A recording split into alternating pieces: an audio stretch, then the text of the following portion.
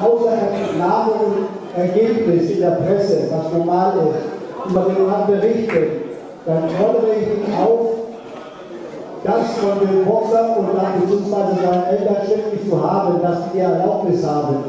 Es ist in der Vergangenheit vorgekommen, dass über Boxer berichtet wurde, auch negativ in der Presse, ob berechtigt oder nicht. Darüber geht es ja nicht. Das wollen wir nicht im Amateurboxverband und im Amateurboxverein. Entweder ist es Erlaubnis da der Eltern, dass über den Jury gesprochen wird, auch negativ. Ich denke mal nicht, dass das tatsächlich gehabt wird.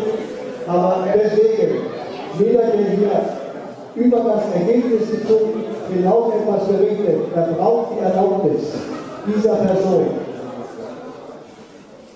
Denn das ist nicht Pressefreiheit, wie es manche Leute sagen, hier nach Paragraph sowieso.